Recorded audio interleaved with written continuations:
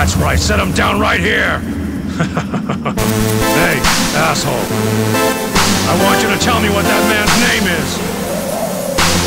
I... I don't know. You don't know? Now that's a pity. Oh.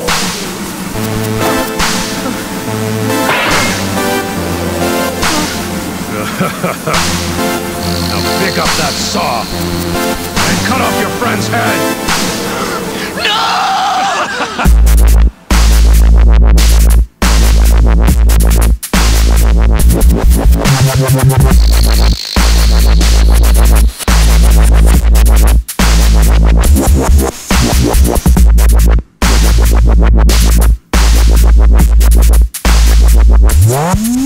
Yeah.